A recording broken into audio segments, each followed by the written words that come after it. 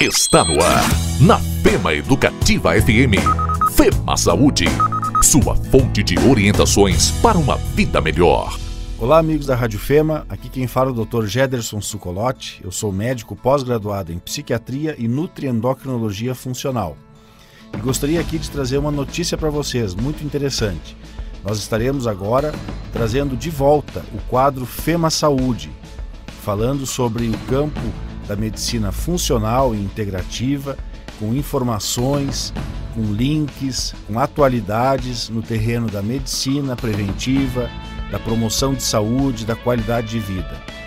Esse é um momento muito oportuno da gente começar a discutir é, temas né, desse campo que normalmente é, as pessoas acabam buscando por conta própria algum auxílio, algum benefício, alguma forma de viver melhor mas existe uma ciência por trás disso, né? que é a medicina funcional.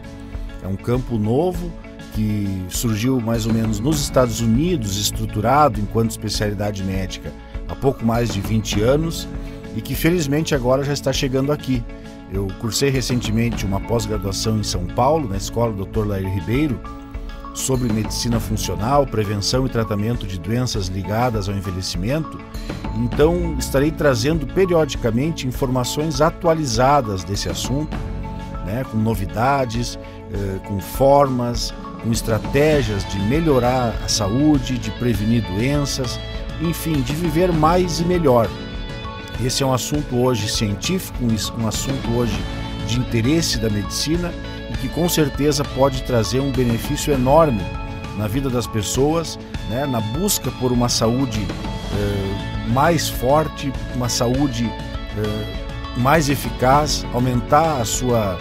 Desde a inteligência psicológica, pode ser buscadas estratégias né, para se melhorar a performance cerebral. Nós estaremos ao longo aqui dos próximos meses, enfim, trazendo informações extremamente validadas, extremamente atualizadas a respeito desse assunto. Né? Então espero vocês.